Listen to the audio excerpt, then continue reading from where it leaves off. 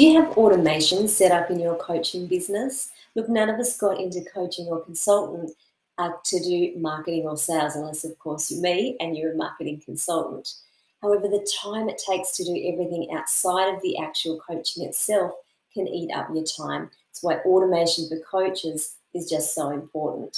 Hi, my name is Kellie O'Brien. I'm an online marketing and social media coach, and I help you move your most aligned clients from discovering who you are online through to investing with you using storytelling, strategy, and systems. And as I said, today we're talking about automation for coaches.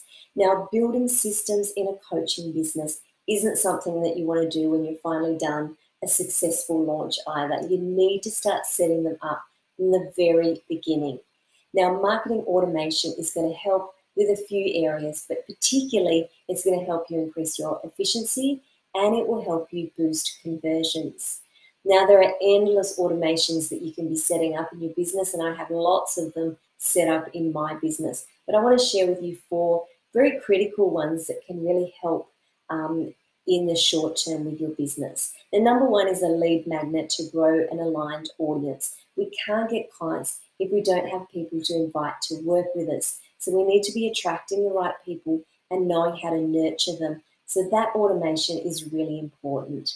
The second one is discovery call system for potential clients. Some people call it um, a free strategy call, but this stops the constant back and forth trying to find the right date um, for the two of you to get together and then people not showing up because there was no reminder calls. It just saves a lot of wasted time. The third one is client onboarding. Now, when you finally sign someone up to become a client, the automation doesn't need to stop there. A new client welcome sequence can really assist with taking out a lot of the work in bringing in new clients. But of course, they still um, get to feel special and taken care of. And it means that we don't drop the ball on things as well. So we give them a great experience from the start.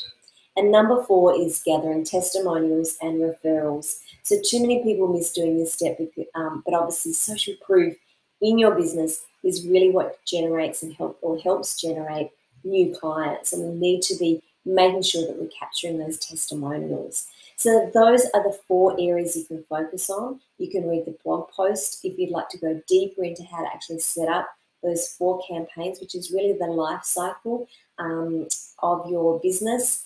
Um, and it's something that's really important for you to be setting up. But hopefully, this helped define um, some strategies that you can be implementing in your business in the blog post, I share some of the tech and also some of the how of putting this together. But I hope that uh, this was helpful for you. Uh, if you have any questions, please reach out. Otherwise, I'll see you in the next video. Thanks.